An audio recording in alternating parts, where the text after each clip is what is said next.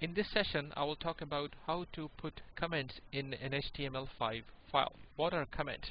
Comments are simply text that you put in the file for humans to read and it's not meant to go to the browser for compilation and not meant to be displayed on the uh, web page. It is uh, meant to be there in the file so that when you're looking at the file again you know what you wrote and you write things in the file as comments uh, so that you can tell other programmers what you were trying to do and the purpose of the file and so that you can remind yourself when you look at the file again. So it's more of a documentation uh, purpose for the comments to go in the file. So how do you put comments? If I put something here this is my first page then this is not really a comment because if I save the work and if I go to the browser and do control R I can see what I wrote.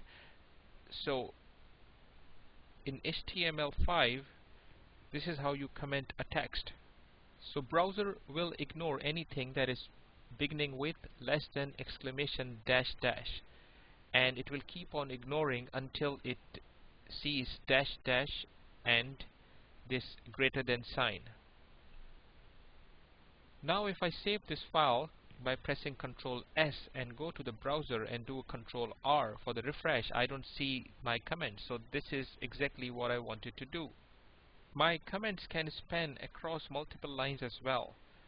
I can write anything between these two symbols.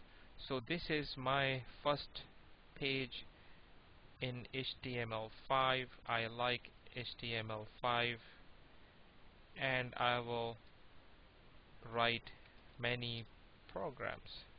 For example, this is my comment. I wrote it for myself. And I, if I save the work, Control S, go to the browser, do a Control R, I don't see whatever I wrote. So this way I can do a documentation. Now having said that, a good practice is to put your name as an author and the date on which you created this program at the top and purpose so that you remember and whoever is looking at your file at a glance can tell what this file is all about.